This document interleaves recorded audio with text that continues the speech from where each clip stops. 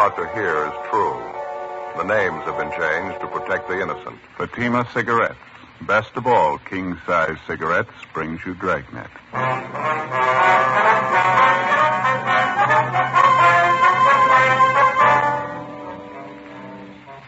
You're a detective sergeant.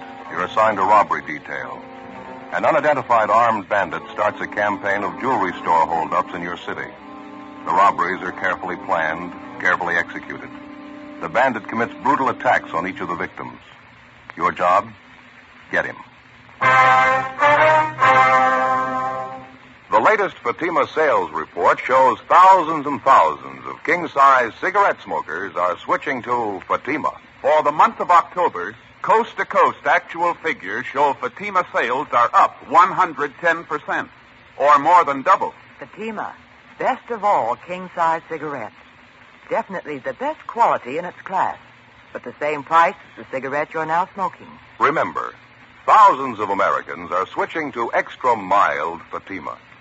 Next time, insist on the best king size Fatima in the distinctive golden yellow package.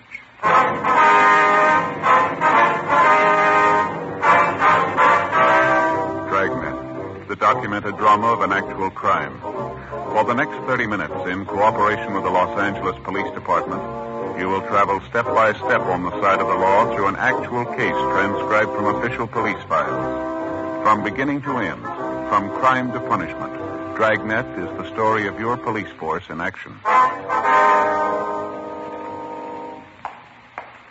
It was Wednesday, March 10th. It was cold in Los Angeles. We were working the day watch out of robbery detail. My partner's Ben Romero. The boss is Captain Didion.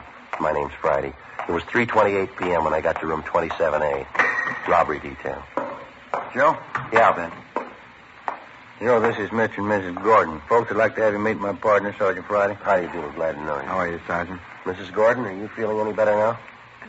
Qu'est-ce qu'il a dit, Robert Il veut savoir comment tu te sens. Raconte-leur ce que tu sais de Val. She's a lot better now, Sergeant, thank you. My French isn't very good, but it's a lot better than her English. Cecile's only been over here a couple of weeks. I met her when I was on occupation duty over there. Army, you know. Yeah, I see. Well, we'll try not to keep you long, sir. We got a few questions about the robbery. We think your wife might be able to help us. Well, we'll sure try, Sergeant. Like to help you any way we can. Your wife was the only one in the store besides the clerk at the time of the holdup. Like to have her tell us everything that happened, if she would, please. Okay. Qu'est-ce qui est arrivé à la bijouterie? Oh oui, je peux leur dire, j'ai tout vu. She says she saw everything that happened, Sergeant. What would you like to know first? Well, how about the holdup man, Mr. Gordon? Did your wife get a good look at him? Can she describe him for us? Cécile, peux-tu décrire le voleur? Oh, il portait un veston bleu. C'était un homme aux cheveux bruns, pas trop grands. Says the fellow was wearing a blue coat. He had dark hair. Wasn't a very big man. Mm-hmm. Does she have any idea about how tall he was? Cécile, de quelle taille? C'est-à-dire... Euh, costaud. Comme ça. Il viendrait jusqu'à ton épaule. Il pesait environ 80 kilos. She can't say exactly how tall, Sergeant. Said he'd come up to about here on my shoulder, about five foot eight, I guess. She thinks maybe he weighed about 170 pounds. She's not sure. Uh-huh. Would you ask her exactly what happened at the store? That is as much as she can remember. Sure. Cécile, dis-leur exactement ce qui s'est passé. Eh bien, j'étais au comptoir quand l'homme est entré. Il est allé directement au vendeur, celui qui me servait, et il avait un revolver dans la main. Well, she says she was standing by the counter, Sergeant, when the holdup man came in. Uh-huh. Says the fellow went over to the clerk, the man who was waiting on her. Says the fellow had a gun in his hand. Uh, would you ask her to go on, please? Et après, Cécile?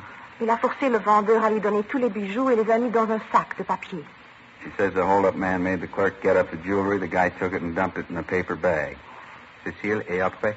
Puis, sans raison, après avoir obtenu tous les bijoux, il s'est mis à battre le vendeur avec le revolver. C'était terrible, terrible. J'ai commencé à crier, puis il m'a battu. C'est tout dont je me souviens. C'était terrible. Well, after he got all this jewelry in the paper bag, the thief began beating up on the clerk. She says for no reason at all, he began slugging the clerk with a gun he was carrying. Uh-huh. Really got nasty with him. Naturally, it scared the wife, and she let out a scream. He turned around and hit her. She says that's all she remembers. Sure like to get my hands on that lousy punk. Yeah, I understand how you feel, Mr. Gordon. Could you ask your wife if there's anything else about the hold-up man she remembers? Cécile, te rappelles-tu d'autres choses à propos de cet homme? Avait-il quelque chose d'extraordinaire? Non, non, non, Robert. Well, that's about it, Sergeant. Well, how about the man's clothes? Does she remember anything else he was wearing besides that blue jacket? Et le reste de ses vêtements, et par le veston bleu, t'en rappelles-tu? Non. Je crois qu'il avait un pantalon foncé, mais je ne me rappelle pas d'autre chose. J'avais trop peur. She thinks maybe he had on dark trousers. She's not sure, though, since she was too scared to notice. Cecile, portait-il un chapeau? Oh non, il n'avait pas de chapeau. I asked her if he was wearing a hat. She said no, she's sure of that. I see. Well, is there anything else that she can remember about him? Anything at all? Y a-t-il autre chose que la police devrait savoir? Non, je leur ai tout dit. C'est tout dont je me souviens.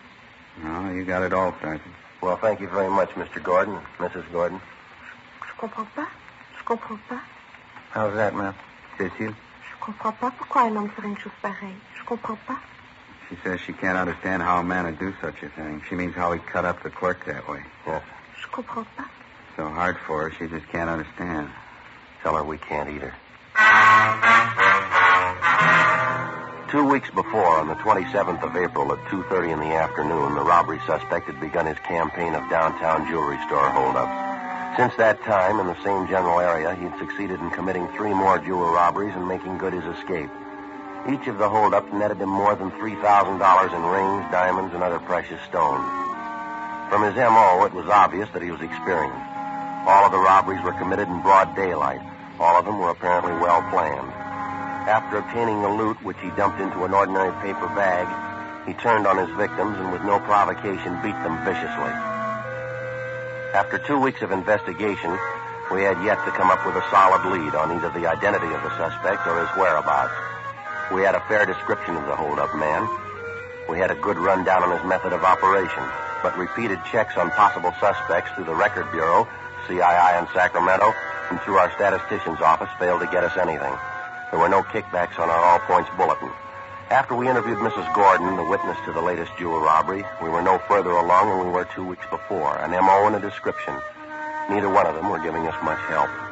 4.05 p.m., we met with Captain Didion. How about the mug books? Any luck there? Miss Gordon's in there now, Skipper, with her husband. They're checking through them. Nothing yet. Mm-hmm. What else you got working? New run going through the stats office. Third one this week might get us something.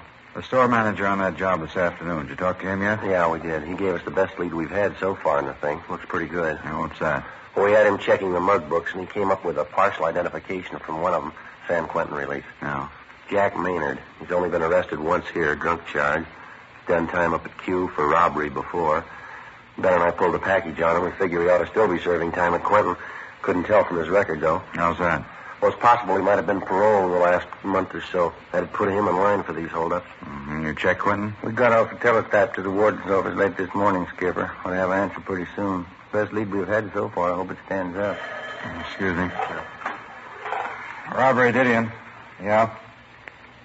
Oh, yeah, Matthews now, huh? No, you and McCaleb stay on it. Yeah, that's right. Over the weekend, anyway. Yeah, right. Goodbye. Well, what's the answer? He's had three weeks. He's cleared four jobs, every one of them in broad daylight. More than $10,000 worth of stuff. Now, how do we reach him? How about some extra manpower, Skipper? Can we manage it? What do you got in mind? Stakeout seems to be the best angle for us with this kind of a setup. How many teams do you figure it'll take? Oh, a dozen anyhow. You figure that, Joe? Yeah, just about. The thief seems to be concentrating on the downtown area. All four holdups were in the same general neighborhood within a 20-block radius. Mm-hmm. We can't cover all the jewelry stores with a dozen teams. It'll give us pretty good coverage, though. Sure help our chances. Mm-hmm. You checked out all the other angles, huh? Everything. Not doing us much good. Mm-hmm. Robbery, Didion. Yeah, just a minute. You, Friday. Oh, thanks. Yeah, Friday talking. Yeah, that's right. Mm-hmm. That's so. No, we'll pick it up. Thank you. This communications just got an answer on that teletype to Quentin. On Jack Maynard, what'd they say? No lead. He's still in prison. We went back and started again from the beginning. With our best lead gone, there wasn't any alternative. The following day, Thursday, March 11th, the stakeouts went into effect. A dozen jewelry stores in the immediate downtown area, all of them potential holdup victims, were placed under constant surveillance. Three days passed. Nothing happened. No sign of the holdup man. We stayed on it. Tuesday, March 16th, 11 a.m. At a small downtown jewelry shop, three blocks from the nearest stakeout team, the bandit committed his fifth successive robbery and made good his escape. The MO and description matched in almost every respect. Ben and I answered the call and drove to the scene of the holdup to interview the victim, a Mr. Walter Myers. He came straight back this way, just where I'm walking. I was at the end of that counter there, just where you are. He had a brown paper bag in one hand, and it was just a couple of feet from me. He put his other hand in his coat pocket and he came up with a gun, pointed it right at me. Store was empty at the time, sir. No customers around. Yeah, that's right. Just myself and my son-in-law, Herb, in the back room. I guess he heard this thief talking to me and he came out to see what it was all about. That's when the fireworks started. And what happened? Well, he made Herb line up along the counter right next to me. By this time, he had all the loot he wanted in that paper bag he was carrying. Uh, Just when I thought he was going to leave, he turned around. All of a sudden, he said to Herb, You think you're a smart guy, don't you? Then he slugged Herb with the gun. Brought it right down on the side of his head, all his might. Uh, that's when the fight started, is that right? Just about, yeah. Herb fell down on one knee. There was a great big gash on the side of his face. Even when he was down, the thief kept slugging Herb, kept pounding him in the face with that gun. Herb wasn't doing anything.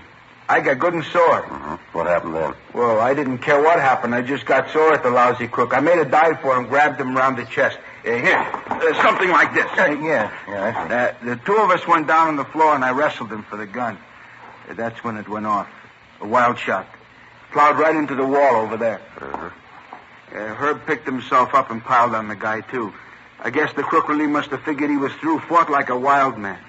I had a good hold of the top coat he had on, but he slipped right out of it. He grabbed his gun and the paper bag ran out of the store, left me there holding an empty coat. Uh-huh. And this is the coat he was wearing right here, is that right? Yeah, that's it. Uh, you can see one of the sleeves there. See? They almost ripped it clean off trying to get away. Mm-hmm. Yeah, I see. I already looked through the pockets. Nothing in them. Now, how about this description of the man, Mr. Myers? You're pretty sure of that, are you? Yeah, I'm positive, Sergeant. Ben, you want to call the crime lab? There's a phone booth right over there. You mind? Oh, yeah, thanks. I wonder if I could check that spot where the bullet hit Mr. Myers, that wild shot he fired. Oh, yeah. Right over here, sir. Fine. Back of the cash register. Yeah. Bedded in there pretty solid. You're lucky it was the wall, not one of us. Uh, say I got a pocket knife here if you want to dig it out. No, sir. We've got a crew on the way out from our crime lab, ballistics men. They'll take care of it. I would like to take another look at that top coat, the one the thief was wearing. Oh, yeah, sure. I had already looked it over pretty good. Nothing in the pockets. Couldn't find anything. Hey, here. All right, sir. Just an ordinary top coat, isn't it? There's no label on it. No, you're right. There's nothing in the pockets. Uh-huh. Uh, what is? Did you find something? Oh, no, sir. It feels like a hole in the pocket here. Good sized one. No. Yeah. Crime lab's on the way. Should be here in a couple of minutes. Okay, fine. Anything at all in the coat? Oh, I don't know here. Seems to be a hole in this pocket here. It's possible something might have dropped down into the lining of the coat, maybe. Here, let me hold out that end for you. All right, thank you. Let me hold it up a little. That's fine, right Like there. this? Uh-huh. Uh-huh. Yeah. Yeah, it feels like something down in here. What is it? Hey, Just a minute, I get my hand down in there. See if I can get it. Yeah. Here we are. Ah, a scrap of paper. Some writing on it. What is it, Joe? Telephone number. The phone number printed neatly on the scrap of paper was Crestview 92085. There were no other notations. We checked out the number and found that the telephone was installed at 6414 Cordova Drive in the Los Feliz district. After the crime lab crew arrived at the store, Ben and I took the bandit's top coat and drove to the address listed for the phone number, a 12-unit apartment house on the corner of Franklin Avenue in Fairfax. The number turned out to be a public phone booth located in the lobby of the apartment. The manager could tell us nothing. We began checking with the tenants on the first floor of the building. We gave them the description of the jewelry store bandit. We showed them the top coat. They failed to recognize either one. We started on the second floor at the end of the hall. The tenant was a Mrs. Iverson. Do you recognize the description at all, Miss Iverson? Mean anything to you? Yes. I'd say it did, Sergeant. Have you tried the apartment next door, Miss King's apartment? Oh, no, ma'am. Why do you ask that? Yes. Almost sure of it. Ma'am? I've seen a man who looks like this go in there several times.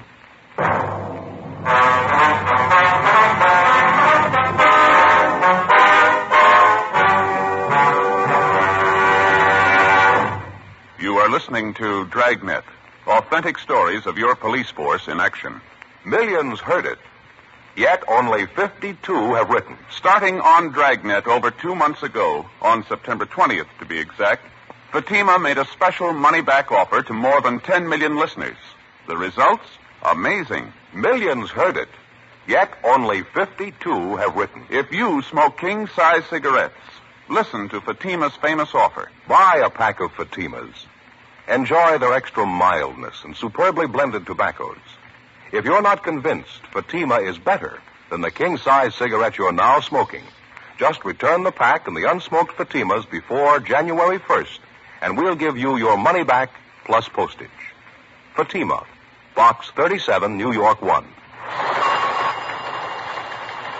Fatima's latest sales report shows Fatima sales up in every state in America. The month of October, coast to coast. Actual figures show Fatima sales up 110%, or more than double. Yes, thousands and thousands of Americans are switching to king size Fatima. So why wait? Switch to Fatima today. Extra mild. Best of all, king size cigarettes.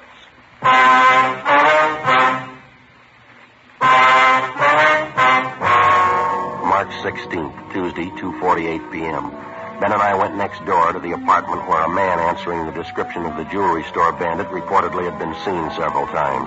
We rang, but there was no answer. We went back and checked with the manager of the building, who told us that the apartment was registered to a Miss Lenora King. He told us that as far as he knew, Miss King worked during the day and that she usually returned to her apartment between 7 and 8 o'clock at night. The manager gave us the address of the place she worked, and we checked it out.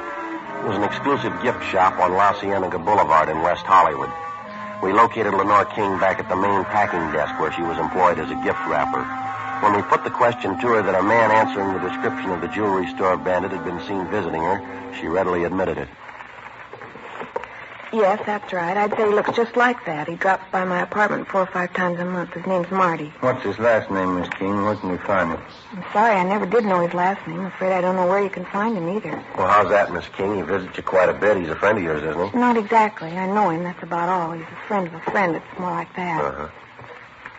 Excuse me. Sure. I'm sorry. This package has a rush on it. I'll have to wrap it now. Do you mind? No, ma'am. You go right ahead. About this man, Marty, Miss King, you mind explaining a little more? If you don't know him well, why should he visit you so often? Well, to tell you the truth, it's more of a favor than anything. It's for Virginia. She's my girlfriend. Uh-huh. And I wish I never got mixed up in it to begin with. Well, how do you mean? Mixed up in what? Well, it's confidential, Sergeant. I'd just as soon not mention it if you don't mind. Well, I'd like to have you tell us everything you know about it. It's a pretty important matter, ma'am. Well, I don't know really how it started. I mean, how the two of them got together, Marty and Virginia. They just met, I suppose. Virginia fell in love with him. She had to find some way out. How's that? Virginia, she was crazy about Marty. I guess she still is. They didn't want to get all involved, though, neither one of them. It's romantic in a way. Could I have the scissors there, Sergeant? Yes, here you go. Well, the two of them want us to see each other once a week. It's enough for Virginia, she says. She loves him, that's all that counts. Doesn't want to know where Marty lives, what he does, anything about him, and I guess the same goes for Marty. I see. So the two of them get in touch with each other through you, is that it? That's right, usually once a week, maybe once every two weeks. I'd just as soon not talk about it if you don't mind, though. I can give you Virginia's address. She can tell you more about Marty than I can. You have no idea where we can locate the man. son. I'm sorry, none at all. The only contact I have is when Marty phones me or when he comes around. He leaves a message for Virginia where to meet him and when, and then he leaves. I really think you ought to talk to Virginia about it. Uh-huh. Here we are. One thing I don't quite understand, ma'am. Yes? This girlfriend of yours, Virginia, you say she's in love with this fellow Marty? Oh, yeah, crazy about him. And why are they playing this hide and seek? If they're in love, why don't they come out and get married? What's the problem? Virginia. What? She's already married. Before we left Lenore King, we advised her what the situation was. In the event the suspect, Marty, contacted her, she was to get in touch with us immediately. She gave us her promise that she wouldn't disclose our conversation with her. We left her our card, and she gave us the address of her girlfriend, Virginia Brewer. It was a South Argyle Street address, but Mrs. Brewer wasn't at home. 8.15 p.m. We drove to her place of employment, a Valley nightclub out along Ventura Boulevard where she was appearing in the floor show. She was a dancer. We located her backstage waiting to go on. You must have some other girl in mind, officer. I don't know anyone by the name of Marty. You sure about that, Miss Brewer? We got it from a pretty good source. Well, I'm sure I don't know where you got it, but it's wrong. The name isn't familiar at all. Who told you this, anyway? Close friend of yours, ma'am. She seemed to know what she was talking about. Who was it? I got a right to know that. Lenore King. Lenore? Why should she tell you a story like that? We wouldn't know, ma'am, unless it's the truth. Of course it's not the truth. I don't know any Marty. I don't even know what this is all about. Well, she says you know the man, Mrs. Brewer. She says you're in love with him. She seemed to have all the details. Now, is there any good reason why she'd tell lies about you? I don't know. You believe what she told you? Yes, ma'am, we do, unless you can prove it's a lie. I'm sorry. That's my introduction. I have to go on. All right, ma'am, we'll wait.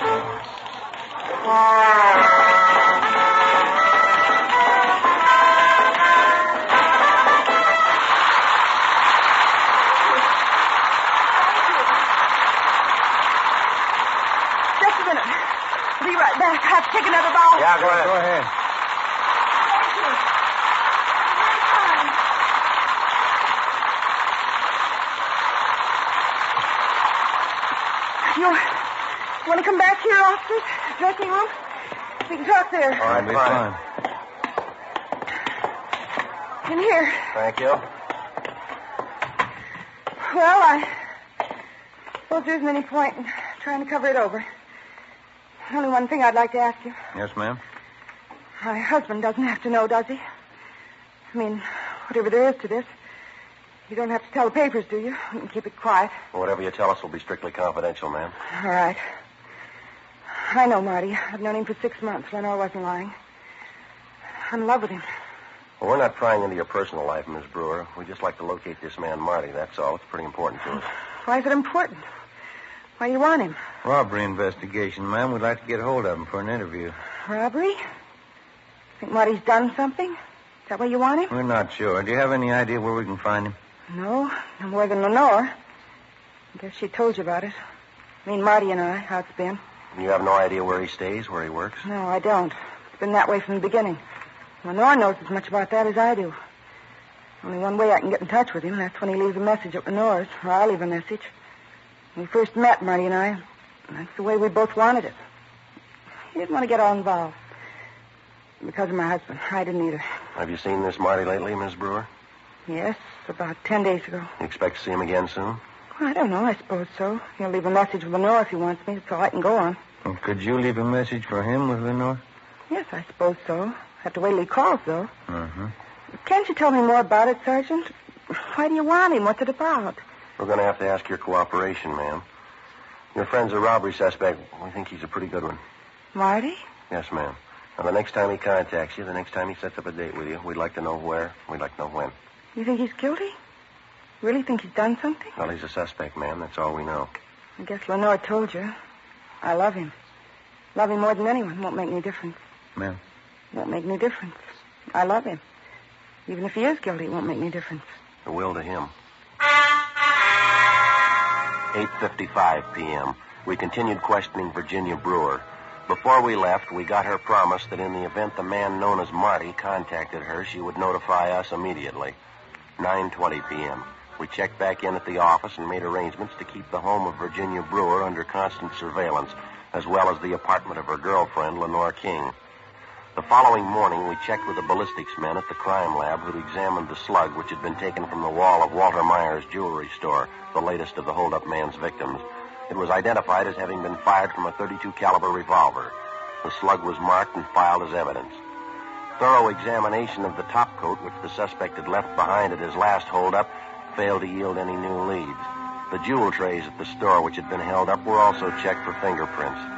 A week passed. No sign of the jewel thief. Wednesday, March 24th. I'll grab it. All right. Robbery Romero. Uh, oh, yes, yes, ma'am. Mm-hmm. Well, when was that? All right. Fine, yes, ma'am. Thank you. Bye. You got anything? That friend of Mrs. Brewer's, Lenore King, Yeah. says this fellow Marty called a few minutes ago. Uh-huh. Set up a date with Mrs. Brewer. Supposed to meet at Lenore's apartment. When? Eight o'clock tonight. 4.45 p.m. We checked with Captain Didion and set up a plan to have the apartment building where Lenore King lived thoroughly covered that night. Carr and Matthews were assigned to cover outside the main entrance. McCaleb and Olson would cover the lobby. Ben and I would be in the apartment proper along with Mrs. Brewer and Lenore King. By 6 o'clock that night, we were all in position. We waited. 6.30, 7 o'clock, 7.30. We waited. Mrs. Brewer walked the floor with a drink in her hand. 7.45, 7.50. Ben watched at the window. Virginia Brewer got nervous. You can't prove it. You don't know anything for sure. How I know you're not trying for a frame, trying to blame Marty for something he didn't do? We're not blaming him for anything, ma'am. He's a suspect. We want to talk to him, that's all. Why don't you sit down, huh, Virginia? No use getting upset. It'll be all right. Come on, honey. Got him all over the place, Lenore. Cops. Waiting for Marty. What am I supposed to think? Why don't you relax, Miss Brewer? If he's not the man, you got nothing to worry about. He's right, honey. Sit down, huh? Let me freshen up that drink. Hey, Joe. Yeah. Car pulling up outside. A sedan. Yeah, let's see. Right in front, see? Man getting out. Yeah, he's coming in here. Marty. Can't see him. He must be inside.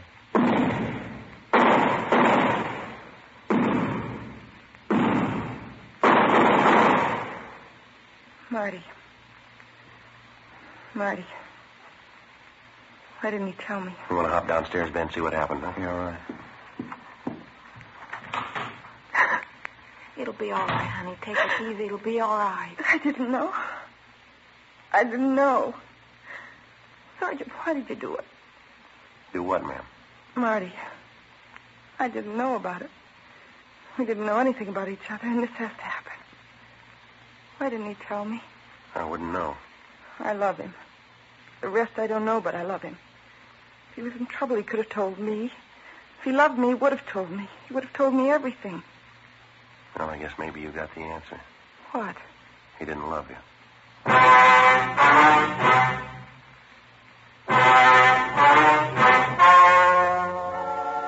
The story you have just heard was true. The names were changed to protect the innocent. On June 29th, trial was held in Superior Court, Department 91, City and County of Los Angeles, State of California. In a moment, the results of that trial. Now, here is our star, Jack Webb. Thank you, George Fenneman. Friend, the man who sells you your Fatimas, your neighborhood cigarette dealer, is a mighty good man to go see during the holiday season. When you drop in, notice Fatima's new poster. It's a reminder that he has Fatimas in smart Christmas cartons. Now, this Christmas season, I'm buying Fatimas for all my friends. I suggest you do the same.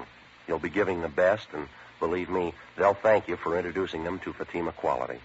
It's extra mildness and better flavor and aroma. Remember, ask your dealer for Fatima in the distinctive new Christmas wrapper. When you see it, you'll agree it's the smartest of all Christmas cartons, just as it should be, because Fatima is the best of all king size cigarettes.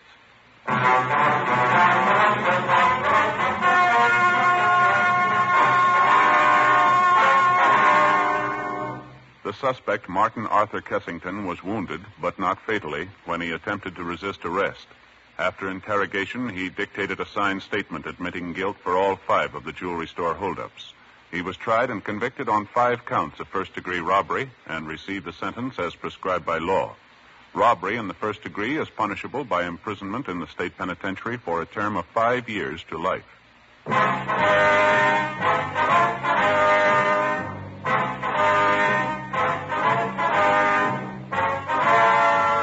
You have just heard Dragnet, a series of authentic cases from official files.